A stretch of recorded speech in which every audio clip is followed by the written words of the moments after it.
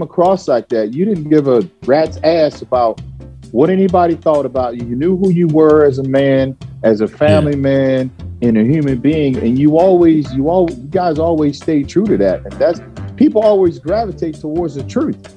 And the yeah, truth yeah. is the, one of the most powerful things, regardless if they don't like what you're saying or not. That truth speaks volumes. Yeah. You know what's funny, Kevin? Mm-hmm. I mean, there's a lot of people in the fitness industry. You know, I'm not going to say anything. Know I took so say. many pictures with people. Yeah, yeah. Uh, you know, hey, let's let's do it, let's share a photo and let's help grow each other's audience. I take the photo. And then they said, okay, um, they look at the photo and said, let's take it again. Let's take it one more time. Y'all out angling me. I said, man, out angling you, man. Take it one more time. So, man, dude, you just small.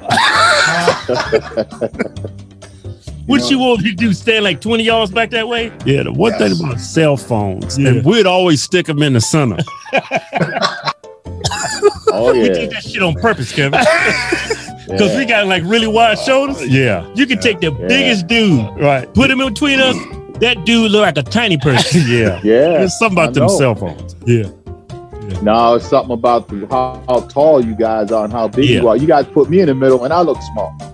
yeah, we did that shit I know you. damn well I'm not small.